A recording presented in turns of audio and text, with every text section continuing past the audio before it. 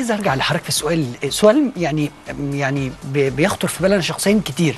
هو انت إزاي بتمثل ببساطة قوي كده من غير مجهود؟ يعني أحيانا أشوف ممثل يطلع وي- وي- بحس انه بيبذل مجهود في الدور أو في الشخصية حتى في الأداء نفسه. انت إزاي بسيط كده؟ يعني بحسك بتعملها كده. ما هو انت ال ال ال الحكاية إيه؟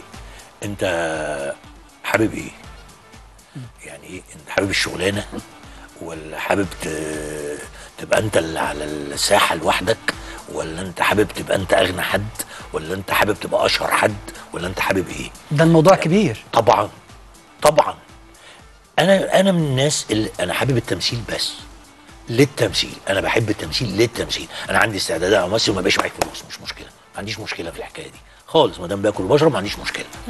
آه إنما مسألة البساطة دي هو هقول لك على حاجة غريبة قوي إحنا ما كناش كده. يعني زمان لما ابتدينا ما كانتش الحكاية بالبساطة دي. لا كان في سيستم مختلف للتمثيل كان في منهج مختلف في التمثيل. لما قعدت اتفرج في طلع شباب جداد في مدارس تانية جديدة مختلفة عن المدارس اللي إحنا اتربينا فيها. قعدت اتفرج عليهم. وده اللي أنا كنت بقول لك عليه من الأول إزاي تتعايش مع أجيال تانية فتبقى زيهم. تعايشت مع أجيال بعدية لقيتهم بيمثلوا كده. يعني أنا هقول لك على مفاجأة. أنا استفدت مثلا من عمر وسلمى من تامر حسني ومي عز الدين إزاي كانوا بساط قوي كده وكان دمهم خفيف وشربات وبتاع.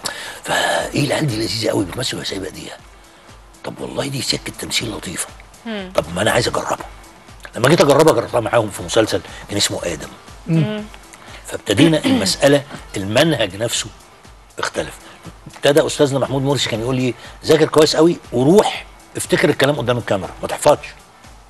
روح افتكر الكلام قدام الكاميرا. هتلاقي نفسك بتقول الكلام كأنه طالع منك دلوقتي. ده أستاذنا محمود مرسي. اتعلمت من محمود مرسي اتعلمت من تامر حسني ومي عز الدين اتعلمت من أحمد مالك وأحمد داش وهتعلم من اللي جايين بعديهم لغاية ما ربنا يدينا من عمر. أنا هفضل أتعلم من كل حد جاي. من كل الأجيال من كل حد وشايف. إن هي طبعاً. حاجة طب وبتعلم من بسنت. آه طبعا. حقيقة يعني. آه طبعا. شهادة هي آه النهارده لا لا لا دي حقيقة والله. والله حقيقة في حاجات هي فاهماها أنا مش فاهمها هي حاجات اتفرجت عليها أنا ما اتفرجتش عليها. هي لها ثقافة مختلفة.